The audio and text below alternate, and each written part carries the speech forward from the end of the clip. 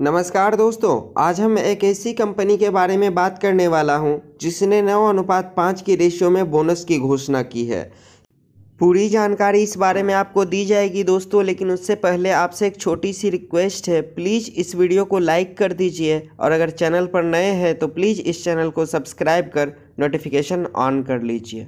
यह vitrified tiles, ceramic वस्तुओं और सुरक्षा निवेश के व्यापार में है। कंपनी कंपनी का अहमदाबाद में गोदाम और भौतिक स्टोर है, जहाँ उसके टाइल उत्पादों का कारोबार होता है। कंपनी घर में किसी भी आवश्यकता के लिए टाइल्स और मार्बल बेचती है। फर्श और दीवार की टाइल्स, बाथरूम की टाइल्सें, मोजाइक और बॉर्डर, रसोई और आउटडोर, सीढ़ियाँ और बालकनी। कंपनी का मार्केट कैप बारह दशमलव सात करोड़ का है। इसका मौजूदा कीमत तिरासी रुपया सत्तर पैसा है। यह बावन वीक हाई एक सौ चौरानवे रुपया है और बावन वीक लो छप्पन छप्पन रुपया चालीस पैसा है। स्टॉक का पीई एक सौ उनसठ है। स्टॉक का पीई अगर पच्चीस के आसपास रहता है तो सही माना जाता है, लेकिन अभी यह थोड़ी महँगी पड़ रही है। इस स्टॉक की बुक वैल्यू उनतीस रुपया चालीस पैसा है और यह कंपनी डिविडेंट नहीं देती है। इसका dividend yield zero point zero zero percent है मतलब कि यह डिविडेंट नहीं देती है।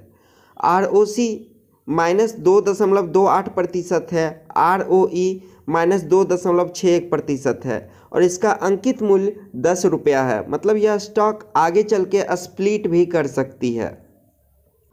अगर इसका पचास और दो सौ दिन का मूविंग एवरेज की बात करें तो यह उसके नीचे कारोबार कर रहा है, यह लगभग अस्सी के आसपास में है। इसका दोष अगर कौनस की बात करें तो पिछले तिमाही में प्रमोटर होल्डिंग में कमी आई है, जो कि माइनस सात दशमलव दो चार प्रतिशत की कमी आई है। प्रमोटर ने अपनी छियालीस दशमलव चार प्रतिशत हिस्सेदारी गिरवी रखी है। कंपनी पर 524 दिनों का सबसे ज़्यादा कर्ज है।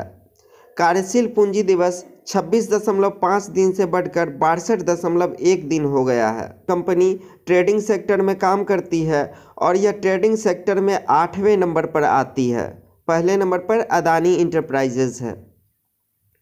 और इसकी सेल्स की बात करें तो यह दस दशमलव पाँच शून्य करोड़ की सेल की है, जो कि लगातार मार्च 2022 सितंबर 2022 और मार्च 2023 और सितंबर 2023 की तुलना में देखें तो कभी बढ़ी है और कभी घटी है। अभी सबसे ज़्यादा है दस दशमलव पाँच शून्य करोड़।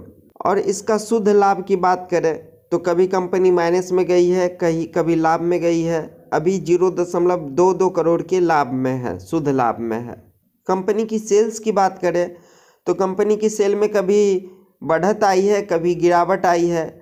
2022 में देखिए बीस दशमलव दो छः करोड़ का है और 2023 में नौ दशमलव दो तीन करोड़ का है। और TTM में देखें तो तेरह दशमलव नौ पाँच करोड़ का है। और इसकी नेट प्रॉफिट की बात करें तो ज़ीरो दशमलव ज़ीरो आठ करोड़ की नेट प्रॉफिट है। इसका कंपाउंडेड सेल्स ग्रोथ देखें तो तीन साल में नौ प्रतिशत है और TTM में माइनस ग्यारह प्रतिशत है।